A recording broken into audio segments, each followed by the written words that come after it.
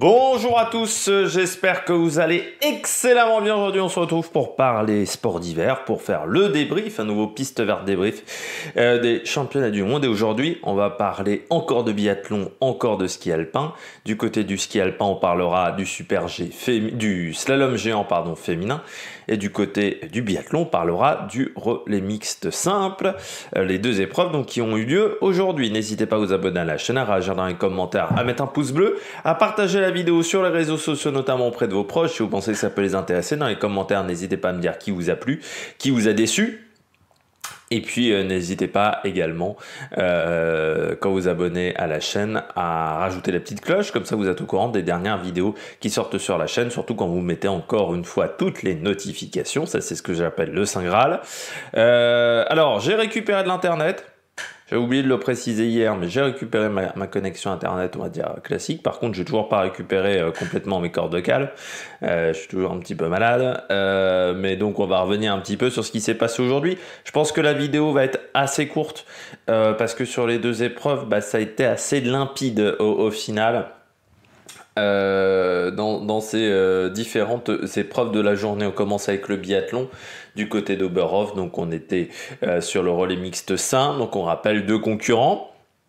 deux tirs à chaque fois.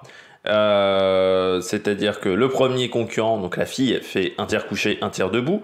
Elle passe le relais directement au garçon qui fait un tir couché, un tir debout. Puis la fille reprend le relais pour un tir couché, un tir debout. Et le garçon fait un tir couché, un tir debout et il fait un tour de plus euh, que la fille au niveau de la ski, du ski sur la fin. Et la Norvège s'est imposée avec Marte euh, Holzbourg-Reuseland et Johannes Bö. Euh, alors déjà, Marte Holzbourg-Reuseland a, quand même pas été catastrophique pendant, euh, pendant cette course. Hein, elle a même été très performante au niveau du tir, hein, seulement deux balles de pioche pour la Norvégienne. Alors Johannes Bö sur les skis, parce qu'il fait quand même deux tirs couchés qui sont pas bons. C'est-à-dire que même le premier tir couché euh, de Johannes Beu, il est quand même pas, euh, tip top. Euh, le deuxième, il est catastrophique. mais sur les skis, il, revient avec une facilité à chaque fois qui est assez dingue. Et il gagne avec 15 secondes d'avance alors qu'il fait un, tour de pénalité. Donc c'est assez monumental euh, la course qu'a fait encore Johannes Beu et puis euh, Martha Holzbourg. Elle avait décidé de ne pas faire l'individuel pour faire ce relais euh, mixte.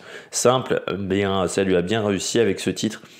Belle performance des deux. Bon, voilà, c'était le, collectif peut-être le, plus solide de, sur cette course notamment euh, euh, par rapport au collectif de l'équipe de France, voire même au collectif de l'Allemagne. Euh, on sent qu'il y a certaines nations qui n'ont pas forcément misé à 100% sur ce relais mixte simple. Derrière, vous avez l'Autriche. Eh bien, oui, l'Autriche, avec Lisa Teresa Hauser, elle, on sait qu'elle est performante, même si sur ces championnats du monde, elle a pour l'instant un petit peu du mal. Lisa Teresa Hauser, mais là elle remporte donc sa première médaille avec euh, bah, trois balles de pioche hein, seulement. Et puis euh, David Komats, euh, lui, il a été très bon avec bah, pas d'erreur hein, sur le tir. voilà, là aussi un très performant.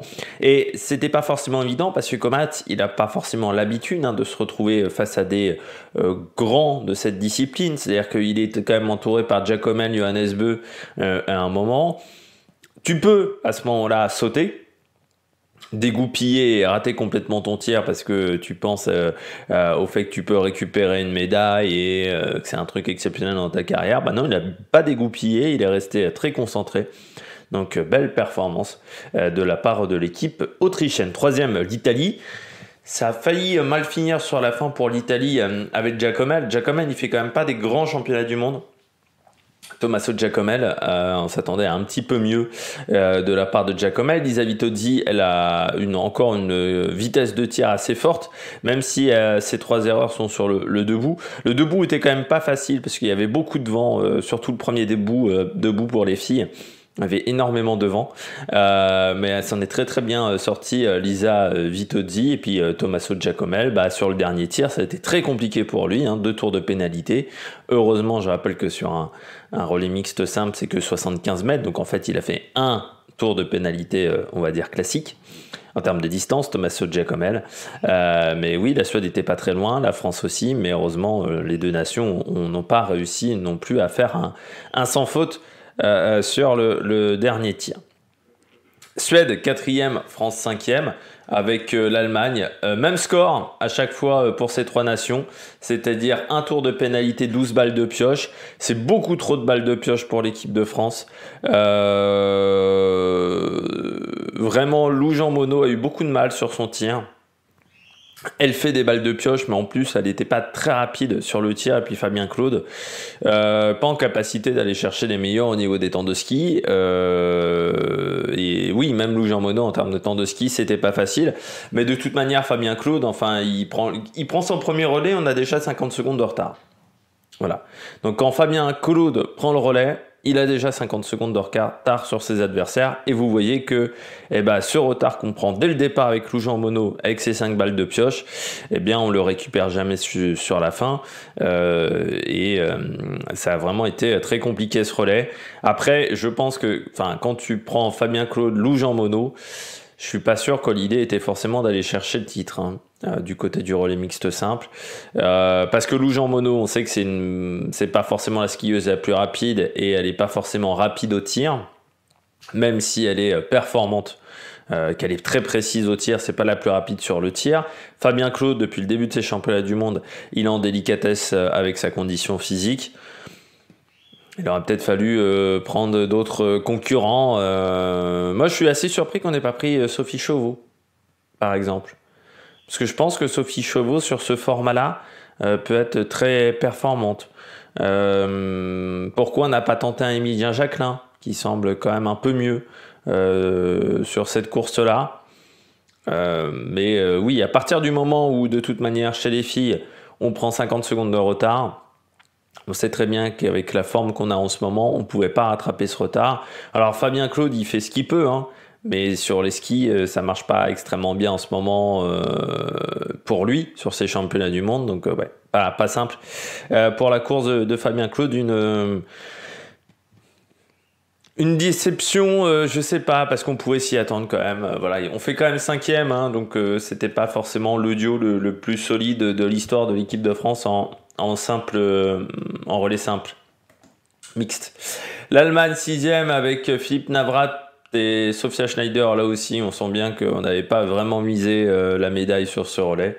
Slovénie, Moldavie 8e, euh, Estonie 9, Finlande 10. C'est dommage hein, que les équipes n'aient pas fait l'effort, euh, que toutes les nations n'aient pas fait l'effort d'engager vraiment des, concurrents performants sur ce relais mixte simple, alors qu'on a quand même, au niveau du programme, on s'est débrouillé pour que il y ait de la place, il y ait un jour de récup après ce relais mixte simple, avant les relais par équipe je pense qu'on aurait pu quand même, euh, en, France notamment, euh, mettre, euh, mettre d'autres concurrents, un peu plus des concurrents d'expérience peut-être aussi, mais on aurait peut-être pu trouver une autre solution. Je suis pas sûr que vraiment ce duo-là était l'idée du set quand je l'ai appris hier. C'est vrai que j'étais un petit peu inquiet, très clairement. je me suis dit, hum, la médaille, ça va pas être facile parce qu'on n'a pas forcément le, duo le plus costaud de sur le mixte simple. On poursuit avec euh, le, super, le slalom géant pardon, euh, du côté de, de Courchevel à Méribel, du côté des filles. C'est dommage pour Tessa Worley hein, qui, qui abandonne en, deuxième manche, qui sort de la piste.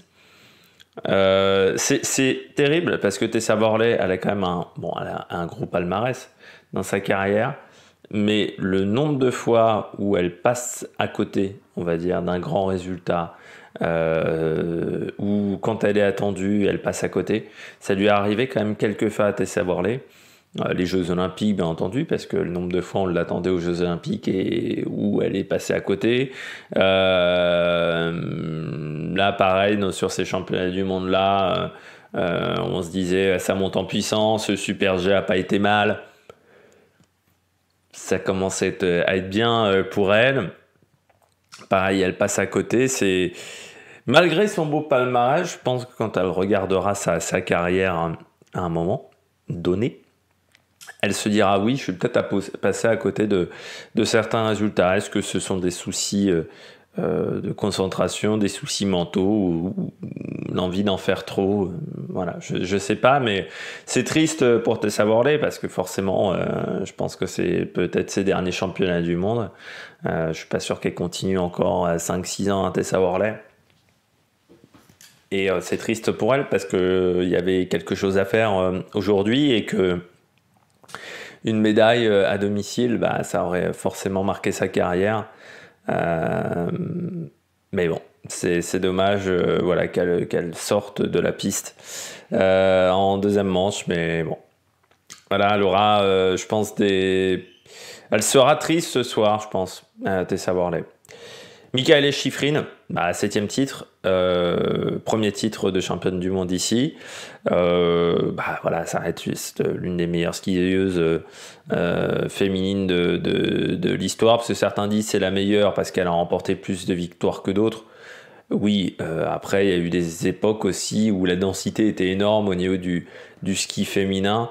Euh, où tu avais 10, 10, filles qui pouvaient remporter une victoire sur toutes les courses de, Coupe du Monde. Hein. donc faut aussi relativiser. Euh, et, et Seven, par exemple, a été fantastique euh, en descente. Euh, bon, elle n'était pas performante sur le slalom, mais comme il y a moins de, enfin voilà, il y a plus d'épreuves techniques de slalom que de descente, pardon, que d'épreuves de vitesse, bah forcément, Lynn a, moins de victoires que Schifrin. Malgré tout, c'est quand même remarquable pour Michaela Schifrin, mais voilà, meilleure skieuse de l'histoire, c'est peut-être à la fin de sa carrière qu'on pourra dire ça de Michaela Schifrin. Enfin voilà, donc euh, victoire. Euh, surtout, elle n'est pas passée à côté en deuxième manche. Pourtant, elle a fait un moment de grosse faute. On se dit, oh là là, ça va refaire un peu comme euh, le slalom du super combiné. Et puis non, elle a réussi à, s'en sortir. Mais vraiment une, belle performance de la part de Chiffrine. Brignonnet, Federica Brignonnet. Deuxième, bah, la neige lui convient parfaitement bien. Euh, dans le, la section intermédiaire, elle a fait des chronos. Euh, sur ce slalom géant qui était tout simplement fantastique. Sur la deuxième manche, elle fait un, un, milieu qui est vraiment assez exceptionnel. Euh, elle est même plus rapide hein, que, que Michaela Schifrin. Elle fait un milieu de course qui est vraiment très très impressionnant. C'est dommage, c'est qu'elle perd beaucoup de temps sur le, sur le haut du parcours en deuxième manche pour Federica Brignone. Troisième, Movinkel. Euh, bah là aussi, un très rapide. Moving Euh, c'est pas le meilleur temps de cette deuxième manche. Le meilleur temps, c'est Marta Bassino, mais qui avait perdu énormément de, temps en, première manche. Hein. des, petits, soucis pour Marta Bassino, beaucoup d'erreurs en première manche. Donc, euh, Moving troisième. La Ragout, bah, pas de médaille. Euh, c'est un peu. bah, c'est un peu comme sa saison en fait. Elle est quand même là, c'est-à-dire qu'elle a fait pas mal de top 10. Hein. Elle, a jamais, elle a rarement été, je crois je ne l'ai même pas vu en dehors du top 10 de l'année. Par contre, tu sens que pour aller chercher les médailles ou les places euh, vraiment d'honneur, c'est un peu plus compliqué. Donc euh, voilà, ça a été une saison difficile pour la Ragout. Marta Bassino 5. Holtman 6, euh, avec des Norvégiennes qui ont quand même été très présentes, hein, avec Petra Vlova 7. Petra Vlova qui s'est ratée en première manche. Pas des championnats du monde faciles hein, pour Petra Vlova pour le moment elle qui euh, aussi était, euh, était placée pendant toute l'année, euh, qui certes n'a gagné qu'une fois, mais a été très régulièrement sur le podium, notamment derrière Chiffrine. Voilà, pour le moment, ça s'est pas bien passé sur cette épreuve pour elle. Sternissoun 8, Coralie Frasse-Sombé, donc première française, 9ème, c'est une belle perte de la part de la française. Une seconde 32, voilà, c'est plutôt une, belle course. dans les deux cas, dans le top 10, donc vraiment bien fait. Et puis Gazenica, la polonaise dixième, O'Brien onzième, qui a fait euh, un très beau chrono en, deuxième manche. C'est même elle qui a fait... Euh, non, c'est Alice Robinson, pardon, qui a fait le meilleur temps de la deuxième manche. Et euh, Sarah Hector, 13e. trop d'erreurs sur les deux manches, mais c'est cas depuis le début de la semaine. Je ne s'en sort pas Sarah Hector. Camille Rice, 14e. Donc Alice Robinson, 15e.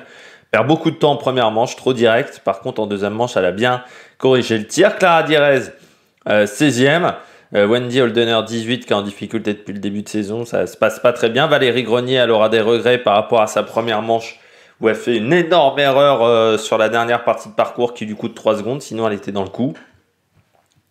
Et puis, parmi les autres concurrentes françaises, eh bien, Romane Miradoli, elle aussi, a abandonné en deuxième manche. elle était 31e de la première manche. Voilà, ça s'est pas passé parfaitement euh, du côté euh, des différentes concurrentes.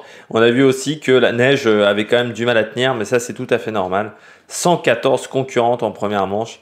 bon, c'est bien qu'il y ait du monde. Là, par contre, il y a peut-être un peu trop de monde sur le slalom géant. C'est-à-dire que 114 concurrentes, la neige a quand même beaucoup de mal à tenir dans ces conditions-là.